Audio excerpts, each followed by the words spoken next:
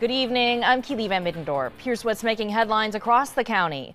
Turning now to a theft at the Valley Plaza Mall earlier today. BPD saying four suspects broke glass cases and stole items from Kevin Jewelry's inside the mall.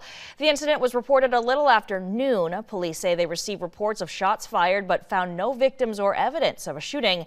They say callers might have mistaken the sound of the tool breaking the glass with gunshots. Of course, this is an ongoing investigation. No arrests have been made at this time and no suspect information is currently available, but anyone with information is urged to call BPD at 661 327 7111.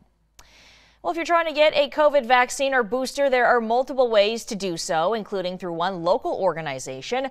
The Boys and Girls Club of Kern County is hosting vaccination clinics for kids over five years old from now until December 30th.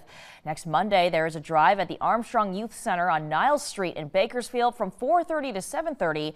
There are also drives, uh, or there are drives there Wednesdays and Thursdays as well, and then the Lamont Club on Tuesday from 4:30 to 7.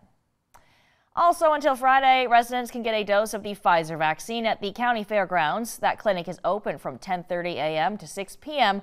It is a walk-up clinic, although residents are encouraged to make an appointment beforehand at myturn.ca.gov.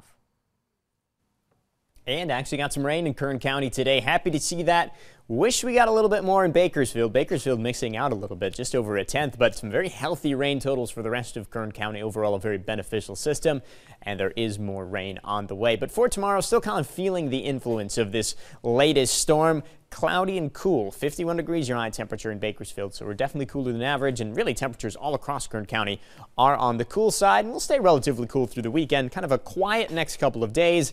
Cannot say the same Monday to Tuesday. Late Monday into the day on Tuesday, we see a very good chance of rain here in Kern County. It's a little bit early for details on this next system, but in general, it's looking stronger than what we had here today. And it's also looking a little bit colder, especially on the tail end of that. So we have brought back that potential for a wintry mix for Tehachapi and Frazier Park. Would not be surprised to see snow levels that are actually even lower than what we saw today. That's your latest news and weather update. For the latest update anytime, be sure to head to our website, turnto23.com.